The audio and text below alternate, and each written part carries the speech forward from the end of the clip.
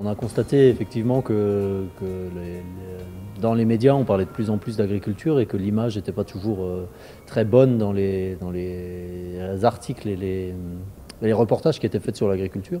Donc on s'est un peu inquiété de savoir comment euh, les agriculteurs réagissaient à ces, euh, à ces attaques permanentes et à, ces messages réguliers passés au sein des réseaux sociaux et des médias on voulait avoir euh, le ressenti des agriculteurs et aussi euh, le ressenti réel des citoyens alsaciens sur, euh, sur leur vision du monde agricole.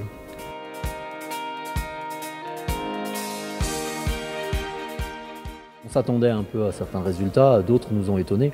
Alors, dans un des résultats qui nous semble important, c'est dans la perception des, agriculteurs sur sur l'avenir. Euh, l'avenir, ils sont assez euh, inquiets de l'avenir de leur métier, de la situation qui va arriver euh, derrière.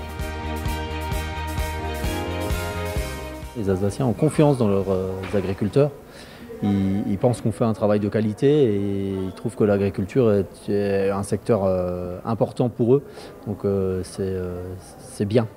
On voit par contre un, critère qui est important à prendre en, en compte, c'est qu'ils considèrent qu'ils n'ont pas assez d'éléments pour répondre à certaines questions. Donc dans, certaines questions sur le bien-être animal, par exemple, ou sur l'utilisation des antibiotiques en élevage, ou sur l'utilisation des produits euh, de traitement euh, des plantes. Euh, c'est intéressant parce que je pense qu'il nous reste du travail à faire dans le cadre de la communication sur quel est aujourd'hui notre métier.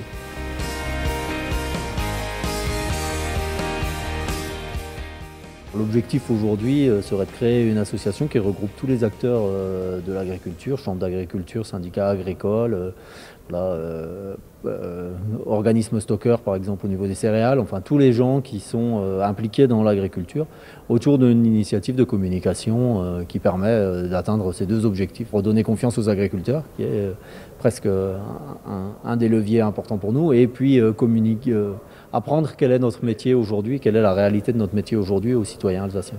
D'ici l'été, on aimerait bien que ce soit euh, concrétisé de manière juridique.